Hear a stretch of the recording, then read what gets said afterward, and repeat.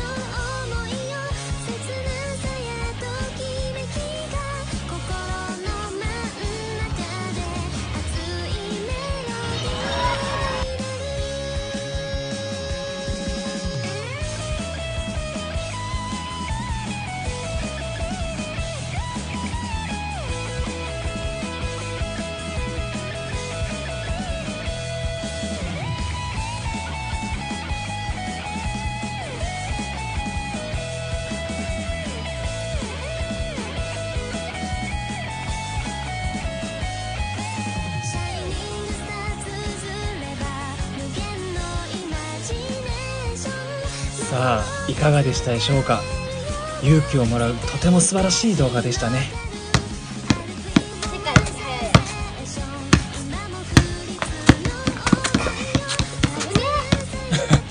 可愛らしい一面がありましたね。